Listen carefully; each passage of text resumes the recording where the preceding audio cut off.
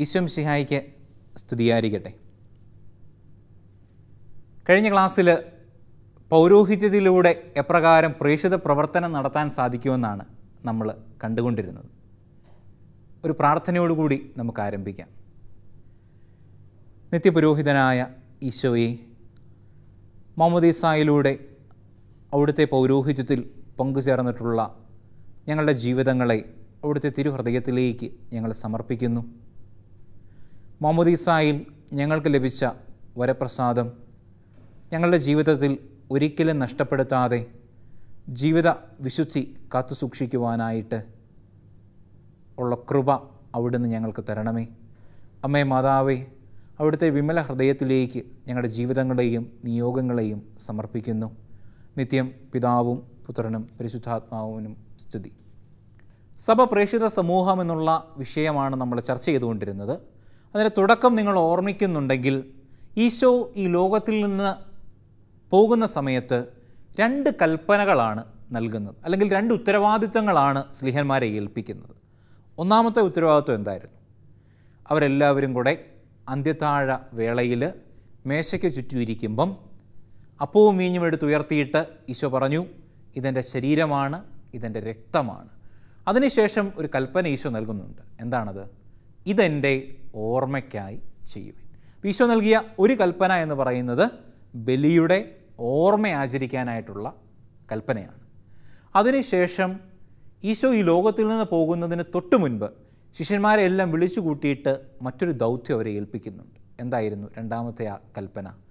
നിങ്ങൾ ലോകമെങ്ങും പോയി സകല സൃഷ്ടികളോടും സുവിശേഷം പ്രസംഗിക്കുക. അപ്പോൾ നമുക്കിങ്ങനെ മനസ്സിലാക്കാനായിട്ട് സാധിക്കും ഈശോ നൽകിയ കൽപ്പന അനുസരിച്ചാണ് ആര് സുവിശേഷ പ്രഘോഷണം നടത്തിയത്?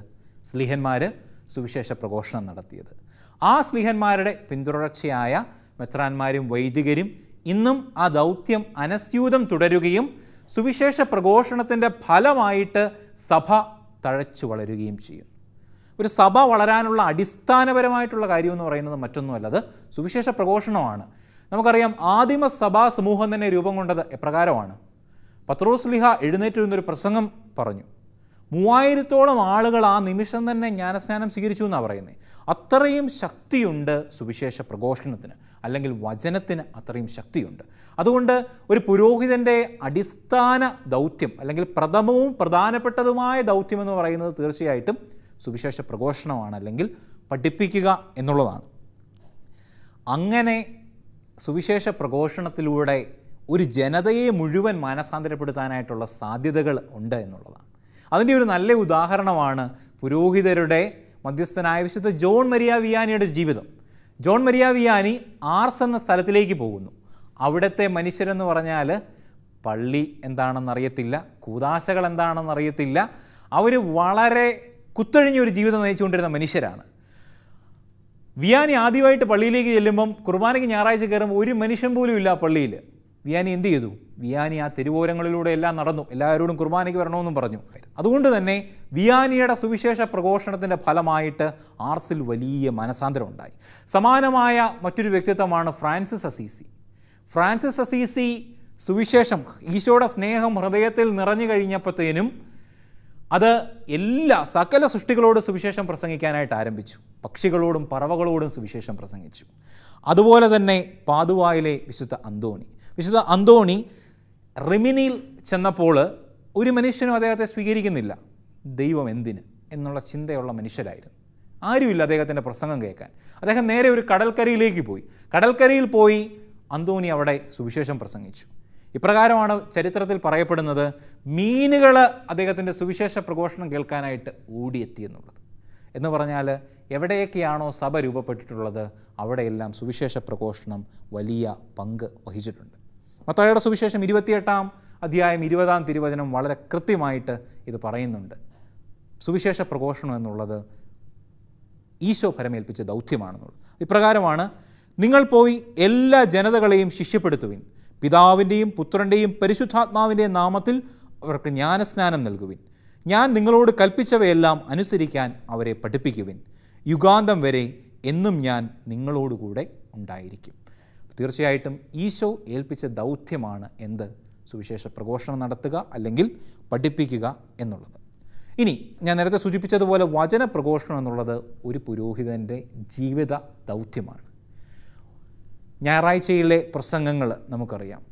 ശരിക്കും പറഞ്ഞാൽ ഒരു ഇടവക ജനത്തോട് പുരോഹിതന് സുവിശേഷം പ്രസംഗിക്കാൻ പറ്റുന്ന ഏറ്റവും നല്ല അവസരമാണ് ഞായറാഴ്ച കുർബാനയും മധ്യയുള്ള വചന പ്രഘോഷണം അതുപോലെ അൽമായരായ നമ്മളെ സംബന്ധിച്ചിടത്തോളം വചനം ഏറ്റവും മനോഹരമായിട്ട് പങ്കുവയ്ക്കപ്പെടുന്ന നിമിഷവുമാണ്. അതുകൊണ്ടാണ് നമ്മൾ ഞായറാഴ്ച ആചരണം കൂടുതൽ സാധാരണ ഒരു ദിവസം കുർബാനയിൽ പങ്കെടുക്കുന്നതിലും കൂടുതൽ തീഷ്ണതയിൽ നമ്മൾ ഞായറാഴ്ചയിലെ വിശുദ്ധ കുർബാന ആചരണം അത്ര ഭക്തിയോടുകൂടി നടത്തുന്നതിന്റെ കാരണം ഒരു വലിയ സാധ്യതയാണ്. വചനത്തിന്റെ ഒരു വിളമ്പലാണ്. അവിടെ രണ്ട് കാര്യങ്ങളാണ് വിളമ്പുന്നത്. ഒന്ന് വചനവും ഒന്ന് ഈശോയുടെ തിരിശരീരവും രക്തവും. രണ്ടും ഒരേപോലെ പ്രധാനപ്പെട്ടതാണ്. അതുകൊണ്ട് തീർച്ചയായിട്ടും നമ്മുടെ ഞായറാഴ്ച ആചരണങ്ങൾ കൂടുതൽ മനോഹരമാക്കി തീർക്കാൻ നമുക്ക് സാധിക്കണം. രണ്ടാമത്തെ കാര്യം ദൈവജനത്തെ വിളിച്ചു കൂട്ടപ്പെടുന്ന അവസരമാണ് എന്ത്? വചന പ്രഘോഷണം എന്നുള്ളത്. ആ അർത്ഥത്തിലും വളരെ പ്രധാനപ്പെട്ട കാര്യമാണ് സുവിശേഷ പ്രഘോഷണം രണ്ടാമത്തെ വത്തിക്കാൻ കൗൺസിൽ ഇതിനെക്കുറിച്ച് ഇപ്രകാരം പറയുന്നുണ്ട്. കർത്താവിൽ ആനന്ദിക്കത്തക്ക വിധം. തങ്ങൾക്ക് ലഭിച്ചിരിക്കുന്ന സുവിശേഷ ദൗത്യം സകലർക്കും പകർന്നു കൊടുക്കാൻ കടപ്പെട്ടവരാണ് വൈദികർ.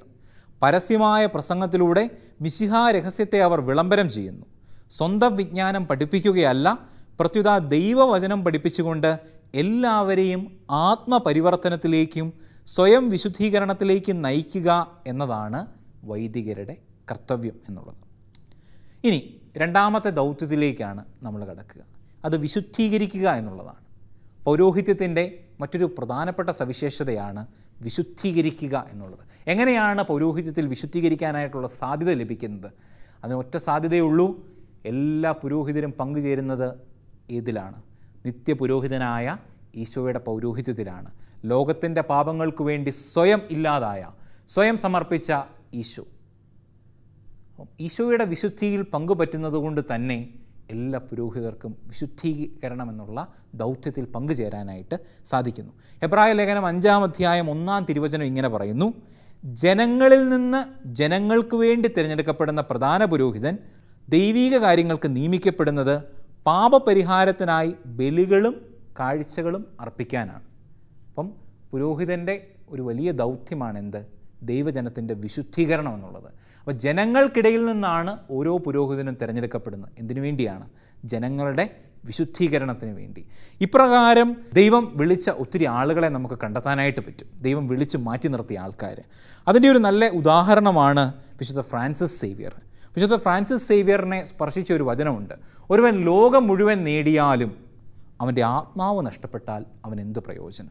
ഈ ഒരു വചനം കേട്ടപ്പോഴത്തേനും ഫ്രാൻസിസ് സേവിയറിന് വലിയ മാനസാന്തരം ഉണ്ടാവുകയും കർത്താവിന്റെ വിളി കേട്ട് കർത്താവിന്റെ പാത പിന്തുടരുകയും ചെയ്തു.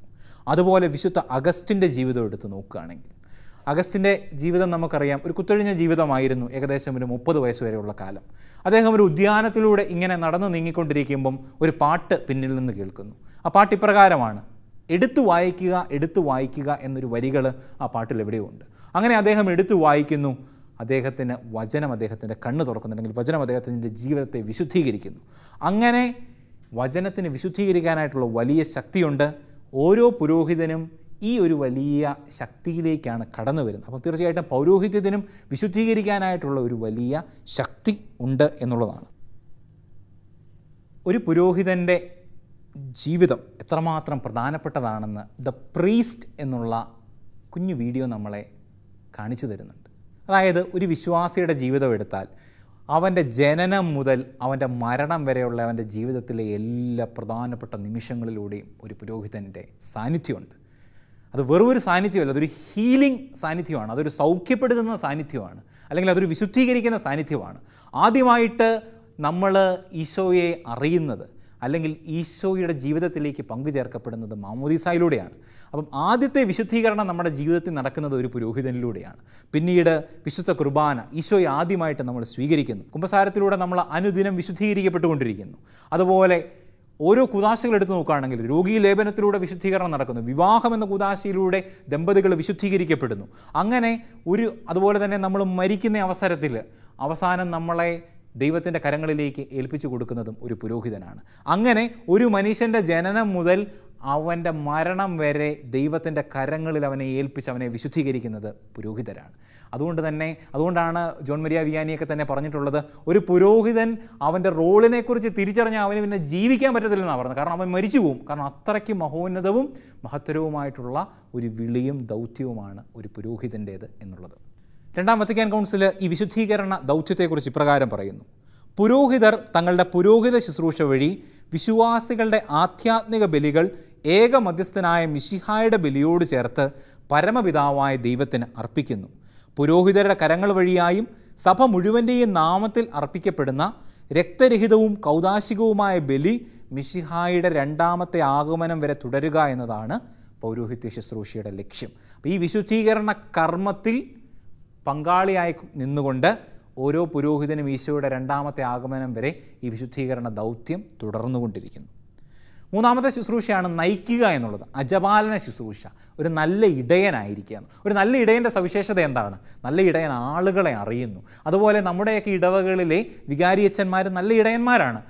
അപ്പം ആ ഇടവകയിലെ ആളുകളുടെ ആത്മസ്ഥിതിയെക്കുറിച്ചും അവരുടെ ജീവിത സാഹചര്യങ്ങളെക്കുറിച്ചും വ്യക്തമായിട്ടുള്ളൊരു ബോധ്യം ആർക്കുണ്ടായിരിക്കണം പുരോഹിതർക്ക് ഉണ്ടായിരിക്കണം. നമുക്കൊക്കെ ആത്മസ്ഥിതി രജിസ്റ്ററുകളെക്കുറിച്ചൊക്കെ നമുക്ക് കേട്ടിട്ടുണ്ട് അല്ലെങ്കിൽ കുടുംബ രജിസ്റ്ററുകളൊക്കെ ഉണ്ട്. അപ്പോൾ നമ്മുടെ ജീവിതത്തിൽ ഒരു വ്യക്തിയുടെ ജീവിതത്തിലെ കൗതാശികപരമായിട്ടുള്ള ജീവിതം പ്രത്യേകമായിട്ടും എപ്രകാരമാണ് മുന്നോട്ട് പോകുന്നതെന്ന് അറിയാനായിട്ടുള്ള അവകാശവും അല്ലെങ്കിൽ അറിയാനായിട്ടുള്ളൊരു ഉത്തരവാദിത്വം ആർക്കുണ്ട്? തീർച്ചയായിട്ടും പുരോഹിതർക്കുണ്ട്. എങ്കിൽ മാത്രമേ അവർക്ക് എന്ത് ചെയ്യാനായിട്ട് സാധിക്കുകയുള്ളൂ? ആ ഇടവക ജനത്തെ നല്ല രീതിയിൽ നയിക്കാനായിട്ട് സാധിക്കത്തുള്ളൂ. യോഹനാന്റെ സുവിശേഷം പത്താം അധ്യായം പതിനാലാം തിരുവചനം. ഞാൻ നല്ല ഇടയനാണ്. പിതാവ് എന്നെയും ഞാൻ പിതാവിനെയും അറിയുന്നത് പോലെ ഞാൻ എനിക്കുള്ളവയും എനിക്കുള്ളവ എന്നെയും അറിയുന്നു. ഇതാണ് ഒരു നല്ല ഇടയന്റെ സവിശേഷത. എന്താണ്? ഈശോ പറയുന്നുണ്ട് ഞാൻ നല്ല ഇടയാണ് അതിന്റെ കാരണം എന്താ? പിതാവ് എന്നെയും ഞാൻ പിതാവിനെയും അറിയുന്നത് പോലെ ഞാൻ എനിക്കുള്ളവയും എനിക്കുള്ളവ എന്നെയും അറിയുന്നു. അപ്പോൾ ഓരോ പുരോഹിതരിൽ നിന്നും പ്രതീക്ഷിക്കുന്നതും ഇപ്രകാരമായിട്ടുള്ള ഒരു അജപാലന ശുശ്രൂഷയാണ്. രണ്ടാം വത്തിക്കാൻ കൗൺസിൽ ഇങ്ങനെ പറഞ്ഞു വെക്കുന്നു തിരുസഭയെ പണിതുയർത്തുക എന്ന ജോലി നിർവഹിക്കുമ്പോൾ ഈശോയെ അനുകരിച്ചുകൊണ്ട് വളരെയേറെ സൗമ്യതയോടുകൂടി വൈദികർ എല്ലാവരോടും വർദ്ധിക്കണം ഒരു വ്യക്തിയുടെ ജനനം മുതൽ മരണം വരെയുള്ള ഓരോ ഘട്ടത്തിലും വൈദികന്റെ ശുശ്രൂഷ ലഭിക്കേണ്ടതുണ്ട്. അതായത് ഒരു കാരണവശാലും ഒരു വ്യക്തിക്ക് കിട്ടേണ്ടതായിട്ടുള്ള കൗതാശികപരമായിട്ടുള്ള അവകാശങ്ങൾ അയാൾക്ക് നിഷേധിക്കാനായിട്ട് പാടില്ല. അങ്ങനെ ആരും നിഷേധിക്കുന്നില്ല. ഞാൻ പറഞ്ഞത് അങ്ങനെ ഒരു വലിയ റോളാണ് ആരാ? നമ്മുടെ ഇടവകയിലെ വൈദികരെ നമുക്ക് വേണ്ടി വഹിച്ചുകൊണ്ടിരിക്കുന്നത് അവരുടെ ജീവിതം മാറ്റി നിർത്തിക്കൊണ്ട് നമ്മുടെ ജീവിതത്തിലെ ജനനം മുതൽ മരണം വരെയുള്ള എല്ലാ ഘട്ടങ്ങളിലും അവർ വലിയ സാന്നിധ്യമായി നിൽക്കുന്നു. ഈ ഒരു അജപാലന ശുശ്രൂഷയുടെ ഭാഗമാണ് നമുക്കറിയാം നമ്മുടെ മാർപ്പാപ്പമാർ ഫ്രാൻസിസ് മാർപ്പാപ്പ. അപ്പോൾ ലോകം വളരെ ശ്രദ്ധയോടുകൂടി വീക്ഷിച്ചുകൊണ്ടിരിക്കുന്നത്. എന്താണ് മാർപ്പാപ്പ പറയുന്നത്? അതിന് കാരണം എന്താ? കേവലം കത്തോലിക്ക സഭയുടെ മാത്രം ഒരു നേതാവ് എന്ന രീതിയിലല്ല മാർപ്പാപ്പയെ ലോകം കാണുന്നത്. ഇതിനു മുൻപ് ജോൺ ബോൾ രണ്ടാമൻ മാർപ്പാപ്പ. ജോൺ ബോൾ രണ്ടാമൻ മാർപ്പാപ്പ ഏകദേശം നൂറ്റി ഇരുപത്തിയൊൻപതോളം രാജ്യങ്ങൾ സന്ദർശിച്ചു. അദ്ദേഹം യാത്ര ചെയ്ത കിലോമീറ്ററുകൾക്ക് പരിധികളില്ല. അപ്പം അവിടെ എല്ലാം വലിയ സ്വീകാര്യതയാണ് ഉണ്ടായത്. അതായത് പല വിഷയങ്ങളും. അന്ന് ലോകം നേരിട്ടുകൊണ്ടിരുന്ന പല വിഷയങ്ങളിലും വ്യക്തമായിട്ടുള്ള തീരുമാനങ്ങൾ പറയാനും അതിനേക്ക് ശ്രദ്ധിക്കാനായിട്ടും ആര് ശ്രദ്ധിച്ചിരുന്നു? നമ്മുടെ മാർപ്പാപ്പമാർ ശ്രദ്ധിച്ചിരുന്നു. അങ്ങനെ വലിയൊരു നേതൃത്വമാണ് സഭ ലോകത്തിനായിട്ട് നടത്തിക്കൊണ്ടിരിക്കുന്നത്. പോൾ ആറാമൻ മാർപ്പാപ്പയുടെ സുവിശേഷ പ്രഘോഷണം എന്നുള്ള അപ്പസ്തോലിക ആഹ്വാനം വളരെ കൃത്യമായിട്ട് പൗരോഹിത്യ ദൗത്യത്തെ ആറായിട്ട് തിരിക്കുന്നുണ്ട്. അതിനെ നമുക്ക് ഇങ്ങനെ പറയാൻ പറ്റും. ഒന്നാമത്തേതെന്ന് പറയുന്നത് ദൈവവചനം പ്രസംഗിക്കുക. രണ്ടാമത്തേത് ഐക്യത്തിൽ നിലനിർത്തുക.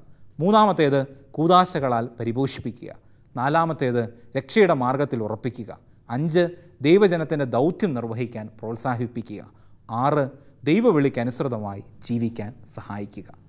ഇതൊക്കെയാണ് ഒരു പൗരോഹിത്യത്തിൽ നിന്ന് നമ്മൾ പ്രതീക്ഷിക്കുന്ന ദൗത്യങ്ങൾ. അപ്പോൾ തീർച്ചയായിട്ടും നമ്മുടെ എല്ലാ ദിവസവും നമ്മുടെ അനുദിന ദിവസം നമ്മുടെ എല്ലാ പ്രാർത്ഥനകളിലും നമ്മുടെ ഇടവകയിൽ സേവനമനുഷ്ഠിച്ചിട്ടുള്ള എല്ലാ വൈദികരെയും സമർപ്പിച്ച് പ്രാർത്ഥിക്കാം. കർത്താവിന്റെ കൃപ അവരിലൂടെ നമ്മുടെ സഭയിൽ ധാരാളമായിട്ട് ഒഴുകട്ടെ. എല്ലാവർക്കും നല്ലൊരു ദിവസം ആശംസിക്കുന്നു.